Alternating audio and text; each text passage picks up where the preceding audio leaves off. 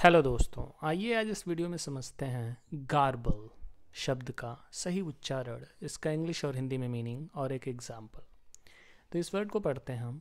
गैरबल गैरबल।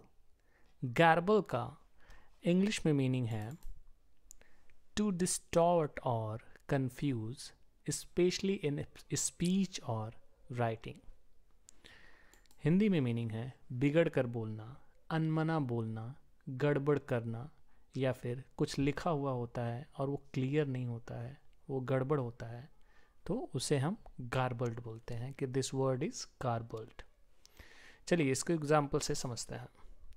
The message got garbled in transmission संदेश प्रसार, प्रसारण में विकृत हो गया या गड़बड़ हो गया या बिगड़ गया। यहाँ पे गार्बल्ड का मतलब है विकृत या बिगड़ा हुआ।